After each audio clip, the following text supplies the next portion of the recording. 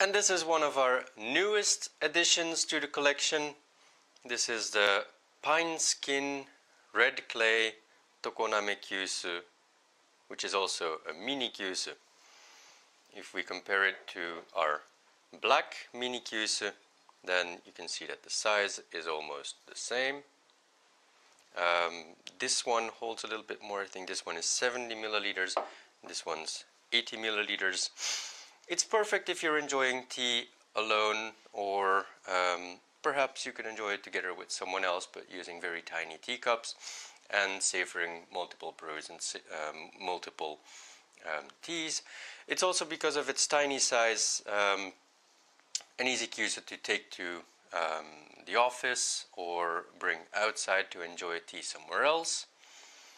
It's got this very cute um, tout, a very slender uh, handle. It's very lightweight.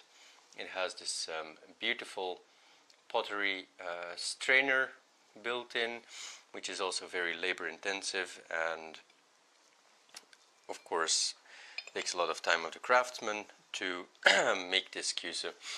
Then you can also see the skin of the kyusu. It's got this um, nice pine skin uh, motif.